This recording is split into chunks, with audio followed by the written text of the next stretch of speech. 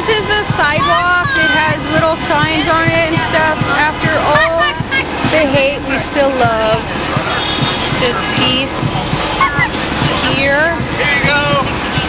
Came back from Burning Man. I had there. There you go. And watch out, little doggy. Come on. It is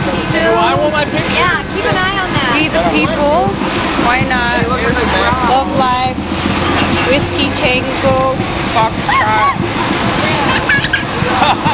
Hi. Uh, Hi. Right on. Peace, love, hope. Here